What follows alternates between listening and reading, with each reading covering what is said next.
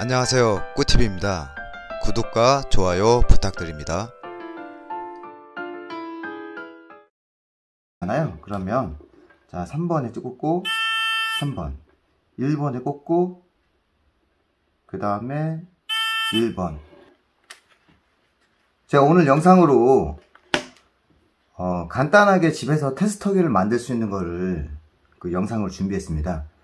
제가 지난번 영상에 청소기를 어, 단선남 부위를 찾는 영상을 올렸는데요. 그 청소기 단선남 부위를 찾으려면 이런 전문적인 테스터기가 있어야 돼요. 이 테스터기로 어떻게 찾았냐면요.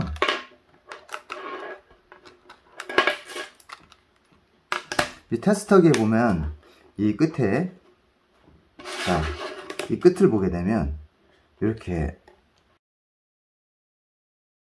자, 선로가 이렇게 닿았을 때 이렇게 소리가 나는 게 있어요.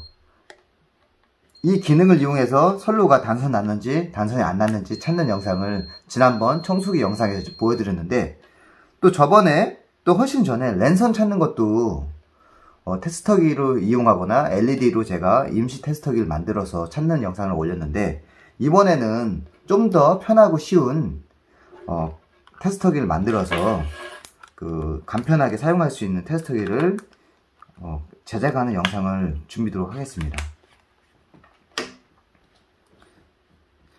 자 간단하게 이 부저라가 있는데 요것만 있으면 돼요. 이 부저는 뭐 그 전압이 다양한데요. 제가 1.5V도 준비했고 3V 그리고 6V 뭐 9V 뭐 12V 이렇게 다양하게 있는데 저는 집에서 가장 어, 간편하게 사용할 수 있는 자 1.5V 부저를 여기 준비했습니다. 자 그리고 건전지와 그 다음에 1.5V 소켓 이렇게 안 생겨도 돼요. 그냥 저는 편하게 제가 지금 제작하기 편하기 위해서 이런 소켓을 준비했고요. 그 다음에 선로 이렇게 이렇게 준비하시고 이거는 부저는 극성이 있기 때문에 극성만 맞춰주시면 돼요. 자 그러면 지금 한번 제가 제작을 해볼게요.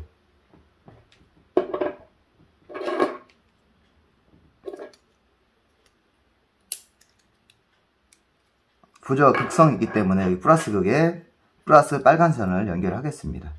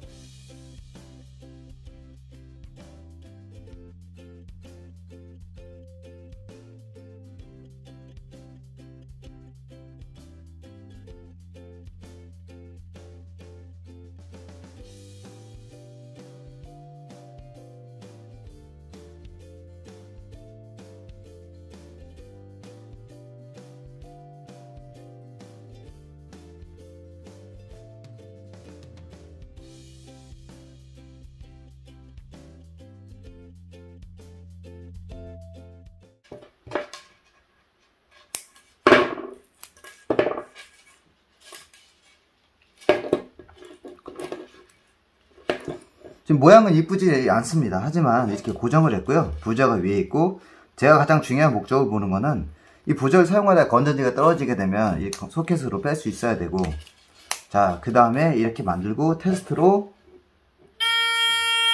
이렇게 부저가 작동이 돼야 돼요. 자 그럼 자 부저를 어떻게 사용하냐면 여기에 어, 지금 3.5파이 AUX 케이블 그 우리 오디오 케이블이 있습니다. 이 케이블 같은 경우 이 내부에서 작동이 안 될 때 단선 났을 때 이 포인트를 잡는 거예요.